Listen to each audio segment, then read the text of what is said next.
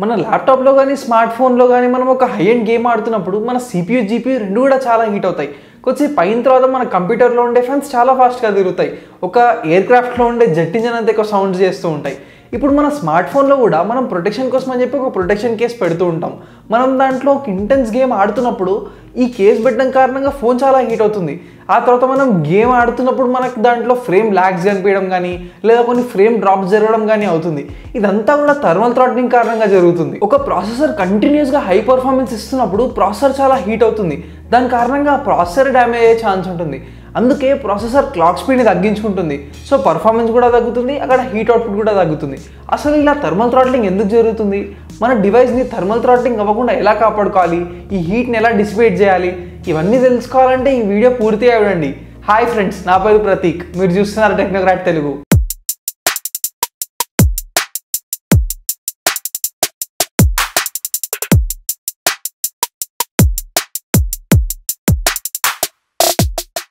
ఏ processor అయినా కూడా instructions execute చేస్తుంది. అన్నీ కూడా ఒకటే విధంగా పనిచేస్తాయి. ఫస్ట్ అవి ఇన్స్ట్రక్షన్ని ఫెచ్ చేస్తుంది ఆ తర్వాత డీకోడ్ చేస్తుంది ఆ తర్వాత ఎగ్జిక్యూట్ చేసిన తర్వాత వచ్చిన రిజల్ట్ని మళ్ళీ తీసుకెళ్ళి స్టోర్ చేస్తుంది. ఇప్పుడు మీరు ఒక ప్రాసెసర్కి అక్కడ స్పెసిఫికేషన్స్లో వస్తే మీకు క్లాక్ ఫ్రీక్వెన్సీ అని కనిపిస్తుంది. ప్రాసెసర్స్కి మీకు గిగాహర్ట్స్లో ఉంటుంది ఇంకా చిన్న మైక్రో కంట్రోలర్స్కి మీకు మెగాహర్ట్స్లో ఉంటుంది. ఇప్పుడు ఏదైనా ప్రాసెసర్కి ఎక్కువ క్లాక్ ఫ్రీక్వెన్సీ ఉందంటే అది తక్కువ టైంలో ఎక్కువ ఇన్స్ట్రక్షన్స్ ఎగ్జిక్యూట్ చేయగలుగుతుంది. సో ఖచ్చితంగా దాని పర్ఫార్మెన్స్ కూడా ఎక్కువ ఉన్నట్టు అర్థం. మీరు క్లాక్ ఫ్రీక్వెన్సీ గురించి ఇంకా క్లియర్గా ఈ వీడియోలో తెలుసుకోవచ్చు. ఇప్పుడు మనం ఫ్రీక్వెన్సీ పెంచుతున్న కొద్దీ మనకు అక్కడ పర్ఫార్మెన్స్ అయితే ఇంక్రీజ్ అవుతుంది. కానీ మనం ఫ్రీక్వెన్సీ పెంచుతున్నాం కాబట్టి ఆ ప్రాసెసర్కి ఇచ్చే వోల్టేజ్ కూడా పెరగాలి. ఈ రెండు పెరగడం కారణంగా పర్ఫార్మెన్స్ అయితే పెరుగుతుంది. కానీ మనకి హీట్ అవుట్పుట్ పెరుగుతుంది. అది కన్జ్యూమ్ చేసుకునే పవర్ కూడా పెరుగుతుంది. ఇప్పుడు అసలు ప్రాసెసర్ ఎందుకు హీట్ అవుతుందని మనం చూస్తే కొన్ని లాస్ ఆఫ్ ఫిజిక్స్ అర్థం చేసుకోవాలి. సెకండ్ లా ఆఫ్ థర్మోడైనమిక్స్లో ఏమనుందంటే ఒక సిస్టమ్ నుంచి ఇంకో సిస్టమ్కి మనం ఎనర్జీని ట్రాన్స్ఫర్ చేసేటప్పుడు దాంట్లో కొంచెం హీట్ అనేది వేస్ట్ అవుతుంది. మనం అందుకే ఇప్పుడు కార్ ఇంజన్స్లో చూసినా కూడా పెట్రోల్ని వాడడం వల్ల కార్ ముందుకైతే కదులుతుంది. కానీ కార్ ఇంజన్ కూడా హీట్ అవుతుంది. ఇదే కాకుండా మీరు law of conservation of energy గురించి కూడా వినుంటారు. ఎనర్జీని మనం ఒక ఫామ్ నుంచి ఇంకో ఫామ్కి కన్వర్ట్ మాత్రమే చేయగలుగుతాం. దాన్ని డిస్ట్రాయ్ చేయలేం. లైట్ బల్బ్స్ కూడా మనం దీన్ని చూస్తుంటాం. దానికి ఎలక్ట్రిక్ పవర్ ఇస్తున్నాం. అక్కడ మనకి లైట్ని ప్రొడ్యూస్ చేస్తుంది. దాంతోపాటు హీట్ని కూడా ప్రొడ్యూస్ చేస్తుంది. ప్రాసెసర్ విషయంలో కూడా ఏదైతే జరుగుతుంది. ప్రాసెసింగ్ మనకైతే చేస్తుంది. కానీ ఆ రెసిస్టెన్స్ వల్ల వచ్చిన హీట్ మొత్తం కూడా మనకు డిసిపేట్ చేయాల్సి వస్తుంది. ప్రాసెసర్ హీట్ అయితే డ్యామేజ్ అవుతుంది అని మనం వేగ్గా చెప్తూ ఉంటాం. కానీ అసలు అక్కడ యాక్చువల్గా ఏం జరుగుతుంది? ఇప్పుడు ఏదైనా ఎలక్ట్రిక్ సర్క్యూట్లో హీట్ పెరుగుతున్న కొద్దీ దాని ఎలక్ట్రికల్ రెసిస్టెన్స్ పెరుగుతుంది. సో కరెంట్ ఈజీగా ఫ్లో అవ్వలేకపోతుంది. సో దానివల్ల ఎఫిషియన్సీ కూడా తగ్గిపోతుంది. సెకండ్ రీజన్ ఏంటంటే ఇప్పుడు ఇంటిగ్రేటెడ్ సర్క్యూట్స్లో మనకి చాలా ఎలక్ట్రికల్ పాత్వేస్ ఉంటాయి. వీటి వల్ల అవి డ్యామేజ్ అయ్యే ఛాన్స్ ఉంటుంది హీట్ వల్ల. సో అదే కాకుండా హీట్ వల్ల డ్యామేజ్ అవ్వడం వల్ల మన డేటా కరప్షన్ జరుగుతుంది.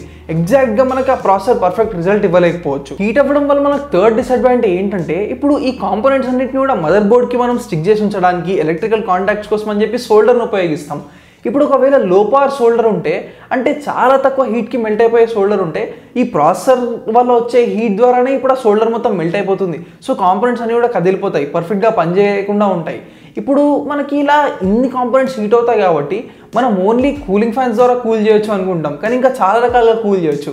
వాటన్నిటిని మీరు క్లియర్గా ఈ వీడియోలో తెలుసుకోవచ్చు. ఇప్పుడు ప్రాసెసర్ ప్రొడ్యూస్ చేసే ఈ హీట్ వల్ల దాని పర్ఫార్మెన్స్ అదే ఎలా తగ్గించుకుంటుందో చూద్దాం. అంటే థర్మల్ థ్రాట్లింగ్ ఎలా పనిచేస్తుందో చూద్దాం. పాత ప్రాసెసర్స్లో మనం చూస్తే మల్టీ కోర్ ప్రాసెసర్స్ ఉండేవి కాదు. ఓన్లీ ఒకటే కోర్ ఉండే ప్రాసెసర్స్ ఉండేవి. అదే కాకుండా వాటి క్లాక్ ఫ్రీక్వెన్సీ కూడా కాన్స్టెంట్ ఉండేది. థర్టీ త్రీ మెగా ఉంటే కాన్స్టెంట్గా అదే ఉండేది. సో మనకి ప్రాసెసర్ నుంచి పర్ఫార్మెన్స్ అవసరం ఉన్నా లేకపోయినా అదే పవర్ మీద పనిచేసేది. సో కాన్స్టెంట్గా అది హీట్ని ప్రొడ్యూస్ చేస్తూ పోయేది. ఇప్పుడు ఆ హీట్ని కనుక మనం రిమూవ్ చేయకపోతే హీట్ సింక్స్ని వాడి ఆ ప్రాసెసర్ ఖచ్చితంగా డ్యామేజ్ అవుతుంది. బర్న్ అయిపోయే ఛాన్స్ కూడా ఉంటుంది. ఒక ప్రాసెసర్ అనేది హీట్ని జనరేట్ చేయడం ఏమంత చెడ్డ విషయం కాదు. ప్రతి ప్రాసెసర్ కూడా జనరేట్ చేస్తుంది జనరేట్ చేయాలి కూడా. కానీ దాన్ని మనం ఫాస్ట్గా డిసిపేట్ చేయలేనప్పుడు మాత్రమే మనకు ప్రాబ్లమ్స్ వస్తాయి. అంటే ఇప్పుడు బయట నుంచి మనం ఈ ప్రాసెసర్ హీట్ని బయటికి తీసుకురాలేకపోతున్నాం కాబట్టి దీన్ని ఫాస్ట్గా కూల్ చేయలేకపోతున్నాం కాబట్టి ప్రాసెసర్ దాని క్లాక్ స్పీడ్ని తగ్గించుకుంటుంది. దీనివల్ల పర్ఫార్మెన్స్ అయితే తగ్గుతుంది. కానీ హీట్ అవుట్పుట్ కూడా తగ్గుతుంది. కొత్తగా జనరేట్ చేసే హీట్ తగ్గుతుంది. దీనివల్ల ప్రాసెసర్ ఫాస్ట్గా కూల్ అయ్యే ఛాన్స్ ఉంటుంది. ఇదే కాకుండా అది బ్యాటరీ లైఫ్ని కూడా కొంచెం ఎక్కువ ప్రిజర్వ్ చేస్తుంది. మన ల్యాప్టాప్స్లో స్మార్ట్ ఫోన్స్లో వాడే ప్రాసెసర్స్ అన్నిట్లో కూడా ఇప్పుడు మనకు మల్టిపుల్ కోర్స్ ఉన్నాయి. మనం వాడుతున్న కొద్దీ కంటిన్యూస్గా అది దాని టెంపరేచర్ని మానిటర్ చేస్తూ ఉంటుంది. పర్ఫార్మెన్స్ అవసరం ఉన్నప్పుడు డిమాండ్ ఉన్నప్పుడు మాత్రమే అది ఎక్కువ పవర్ కన్జంప్షన్ని వాడుతుంది. ఇప్పుడు మనకి ఎప్పుడైతే ఎక్కువ వర్క్ లోడ్ ఉందో హెవీ వర్క్ లోడ్ ఉందో అప్పుడే ఒక హై పవర్ కోర్ని వాడుతుంది. లేదనుకున్నప్పుడు ప్రతిసారి లో పవర్ కోర్స్ని వాడుతుంది. ఐడిల్ మోడ్లో ఉంటుంది. సో దానివల్ల పవర్ కన్జంప్షన్ తగ్గుతుంది ఇంకా హీట్ అవుట్ కూడా కూడా తగ్గుతుంది. మనం హై వర్క్ లోడ్ వాడుతున్నప్పుడు థర్మల్ థ్రాట్లింగ్ కూడా జరగకుండా ఉంటుంది. ల్యాప్టాప్స్లో ఇంకా స్మార్ట్ ఫోన్స్లో రెండిట్లో కూడా మనం పర్ఫార్మెన్స్కి ప్రాధాన్యత ఇవ్వడం కన్నా కూడా లుక్స్కి ఎక్కువ ప్రాధాన్యత ఇస్తున్నాం. అన్నిటికన్నా తిన్నెస్ట్ ల్యాప్టాప్ ఏది తిన్నెస్ట్ స్మార్ట్ ఫోన్ ఏది అని చూస్తున్నాం. దీనివల్ల ఏమవుతుందంటే దాంట్లో మనం పవర్ఫుల్ కాంపోనెంట్స్ పెట్టినా కూడా అవి మనకు కొద్దిసేపు మాత్రమే పీక్ పర్ఫార్మెన్స్ ఇవ్వగలుగుతున్నాయి.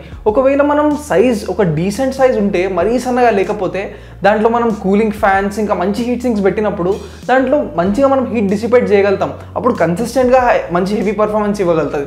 లేకపోతే కూల్ చేయలేకపోతే ఖచ్చితంగా థర్మల్ థ్రాట్లింగే అవుతుంది. ఆల్రెడీ ఉన్న కంపోనెంట్స్తోనే వాళ్ళు ఇంకా ఎక్కువ పర్ఫార్మెన్స్ రాబట్టుకోవాలంటే పర్ఫార్మెన్స్ ఎంతూజియాస్ కొంతమంది ఏం చేస్తుంటారంటే ఈ ప్రాసెసర్స్ క్లాక్ స్పీడ్ పెంచుతూ ఉంటారు. మ్యానుఫ్యాక్చర్ స్పెసిఫికేషన్ కన్నా ఎక్కువ పెంచుతూ ఉంటారు. దీనివల్ల వాళ్ళకి ఆఫ్టర్ మార్కెట్ కూలింగ్ ఎక్విప్మెంట్ అవసరం.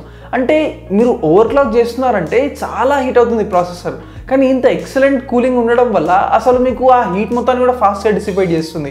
ఇలాంటప్పుడు మీకు అసలు థర్మల్ థ్రాట్లింగ్కి ఛాన్సే ఉండదు. ఓవర్ క్లాకింగ్ గురించి మీరు ఇంకా క్లియర్గా ఈ వీడియోలో తెలుసుకోవచ్చు. ఓవర్ క్లాక్ చేయడానికి అని చెప్పి మనకు సపరేట్ సాఫ్ట్వేర్స్ ఉంటాయి. మనం ఫ్రీక్వెన్సీ ఇంకా వోల్టేజ్ రెండు కూడా మనం స్లైడర్స్ ద్వారా ఇంక్రీజ్ చేసి మన సిపిఎస్ని జీపీయూస్ని రెండింటిని ఓవర్ క్లాక్ చేసుకోవచ్చు. అదే కాకుండా ఈ సాఫ్ట్వేర్లోనే మనకు అక్కడ టెంపరేచర్ డయల్ ఉంటుంది.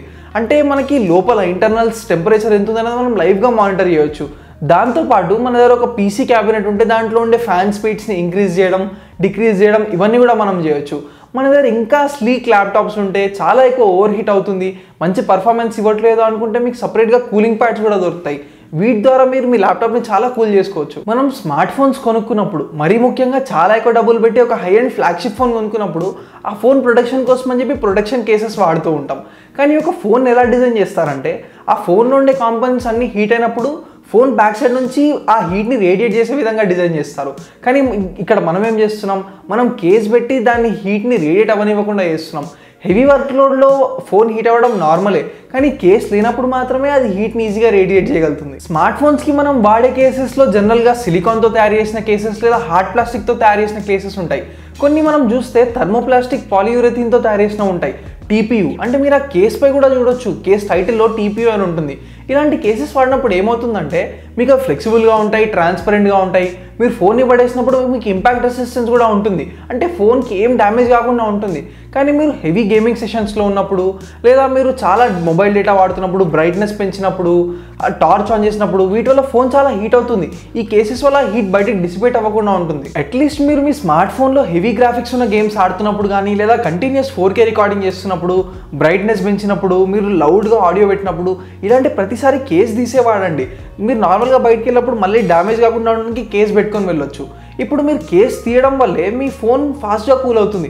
ఒక ఫోన్ హీట్ అవడంలో తప్పేం లేదు. ఆ హీట్ మొత్తం కూడా డిసిపేట్ అయ్యే మెకానిజం ఖచ్చితంగా మీ స్మార్ట్ ఫోన్లో ఉంటుంది. ఏదైనా హాట్ సర్ఫేస్కి ఎప్పుడు గాలి తగులుతున్నప్పుడు అది చాలా ఫాస్ట్గా కూల్ అవుతుంది. ఇలా ఫోన్ హీట్ అవ్వకుండా ఉండడానికి మన జాగ్రత్తలు అయితే మనం తీసుకుంటాం. కొన్నిసార్లు ఈ ఫోన్ డిజైనర్స్ దగ్గర నుంచి కూడా మనకు చాలా ఇబ్బందులు వస్తాయి. ఎలాంటివంటే ఇప్పుడు two thousand థర్టీన్లో first time Apple Apple iPhone five ఎస్లో Apple A seven series చిప్తో ఫస్ట్ టైం ఒక సిక్స్టీ ఫోర్ బిట్ ప్రాసెసర్ తీసుకొచ్చారు. సో క్వాల్కామ్ వాళ్ళు కూడా హడావిడిగా తొందరగా మనం కూడా సిక్స్టీ ఫోర్ బిట్ ప్రాసెసర్ తీసుకురావాలని క్వాల్కామ్ స్నాప్డ్రాగన్ ఎయిట్ టెన్తో వచ్చారు. కానీ దాంట్లో జనరిక్ కోర్స్ వాడారు. వాళ్ళు జనరల్గా క్రేయో కోర్స్ లేదా క్రేత్ కోర్స్ వాడతారు. కానీ దీంట్లో కార్టెక్స్ కోర్స్ వాడారు. దీనివల్ల చాలా over heating problem thermal throttling problem జరిగింది. సామ్సంగ్ వాళ్ళు జనరల్గా ఎగ్జినోస్ ప్రాసెసర్ ఇంకా స్నాప్డ్రాగన్ ప్రాసెసర్ రెండింటితో కూడా వాళ్ళ ఫ్లాగ్షిప్ సిరీస్ తీసుకొస్తారు. సామ్సంగ్ గ్యాలక్సీ ఎస్ సిరీస్ని కానీ ఫస్ట్ టైం ఎస్ సిక్స్లో ఏం చేస్తారంటే ఓవర్ హీటింగ్ ప్రాబ్లం వల్ల కంప్లీట్గా స్నాప్డ్రాగన్ వర్షన్ని డిస్కంటిన్యూ చేశారు. దీనివల్ల స్నాప్డ్రాగన్కి చాలా చెడ్డ పేరు వచ్చింది. స్మార్ట్ ఫోన్ సంబంధించి మీరు ఒక్క విషయాన్ని గుర్తుపెట్టుకోండి. లిమిట్స్ కన్నా కూడా ఒక ఫోన్ చాలా హీట్ అవుతుందంటే అది ప్రాబ్లమే కానీ నార్మల్ లిమిట్స్లో హెవీ యూసేజ్లో ఫోన్ హీట్ అవ్వడం అంత పెద్ద ప్రాబ్లం ఏం కాదు. కానీ ఆ ఫోన్ హీట్ అయిన తర్వాత అది ఫాస్ట్గా కూల్ కాకపోవడం చాలా పెద్ద ప్రాబ్లమే మీరు దాన్ని కూల్ అవ్వనివ్వకుండా మీరు కేస్ వాడుతున్నారంటే అది నిజంగా పెద్ద ప్రాబ్లమే సో ఖచ్చితంగా కేస్ తీసే మీరు ఫోన్ ఉపయోగించండి. ఏదైనా హెవీ వర్క్లోడ్ చేస్తున్నప్పుడు. ఇప్పుడు ప్రాసెసర్ మీరు అది హీట్ అయిన తర్వాత కూడా దాన్ని కూల్ అవ్వనివ్వట్లేదు కాబట్టి దాని పర్ఫార్మెన్స్ తగ్గించుకుంటుంది. అందుకే మనం దాన్ని థర్మల్ థ్రాట్లింగ్ అంటున్నాం. హీట్ వల్ల దాని పర్ఫార్మెన్స్ని తగ్గించుకుంటుంది. నేను జనరల్గా నా స్మార్ట్ ఫోన్తో చాలా ఎక్కువ వీడియోస్ షూట్ చేస్తూ ఉంటాను. ఇలా వీడియోస్ షూట్ చేసేటప్పుడు స్క్రిప్ట్ చూడడానికి అని చెప్పి నేను స్క్రీన్ మిర్రింగ్ కూడా చేస్తూ ఉంటాను. నా ఫోన్ కూడా డ్యామేజ్ అవుతుందన్న భయం నాకు ఉంటుంది. అందుకే నేను ఒక కేస్ని ఉపయోగిస్తాను. కానీ ఇలా ఈ రెండు టాస్క్ చేసేటప్పుడు మాత్రం ఖచ్చితంగా కేసు తీసేస్తాను. ఫోన్ హీట్ అయిన తర్వాత కూడా చాలా ఫాస్ట్గా కూల్ అవుతుంది. మీ ఫోన్లో కూడా మీరు ఒక ఇంటెన్స్ గేమింగ్ సెషన్లో ఉన్నప్పుడు మీ ఫోన్ హీట్ అవ్వడం కారణంగా పర్ఫార్మెన్స్ డ్రాప్ అవ్వడం మీరు గమనించారా? నాకు కమెంట్స్లో చెప్పండి. ఈ వీడియో ప్రాసెసర్ సిరీస్లో భాగం. ప్రాసెసర్ సంబంధించిన ప్రతి ఒక్క డౌట్ సంబంధించిన వీడియో నేను ఈ సిరీస్లో తీశాను. ఈ వీడియో టైటిల్ పైన కనిపించే హ్యాష్ ట్యాగ్ని క్లిక్ చేసి కానీ లేదా వీడియో ఎండింగ్లో లెఫ్ట్ సైడ్లో వచ్చే ప్లేలిస్ట్ అండ్ స్క్రీన్ కార్డ్ని క్లిక్ చేసి కానీ మీరు ఈ ప్రాసెసర్ సిరీస్ మొత్తం చూడొచ్చు. ఈ ప్రాసెసర్ సిరీసే కాకుండా టెక్నోక్రాట్ వీడియో లైబ్రరీలో నేను ఇంకా చాలా సిరీస్లు మీకు అవగాహన పెంచడానికి అప్లోడ్ చేశాను. అవన్నీ చూడండి మీరు చాలా విషయాలు తెలుసుకోవచ్చు. మీరు టెక్నాలజీ గురించి ఇంకా ఏ కొత్త విషయాన్ని తెలుసుకోవాలన్నా కానీ పక్కన టెక్నోక్రాట్ తెలుగు అని కూడా సెర్చ్ చేయండి. మీకు ఖచ్చితంగా మీరు చూడాలనుకున్న వీడియో దొరుకుతుంది. మీకు ఈ వీడియో నచ్చితే ఖచ్చితంగా లైక్ చేయండి. నేను ఇలాంటి మరిన్ని ఇన్ఫర్మేటివ్ వీడియోస్ మీకోసం తీసుకురావడానికి ప్రయత్నిస్తాను. టెక్నోక్రాట్ తెలుగు ఛానల్ మీరు ఇంకా సబ్స్క్రైబ్ చేసుకోకపోతే ఇప్పుడే సబ్స్క్రైబ్ చేయండి. టెక్నాలజీ సంబంధించిన ప్రతి ఒక్క వీడియో మీరు ఈ ఛానల్లో చూడొచ్చు. గంట కొట్టలేదా? నా లేటెస్ట్ వీడియో అప్డేట్స్ మీకు రావు మరి. గుర్తుంచుకోండి మీ అవగానే మీ శక్తి. ఎప్పుడు సైన్స్ నమ్మండి టెక్నాలజీని వాడండి. Thanks for watching bye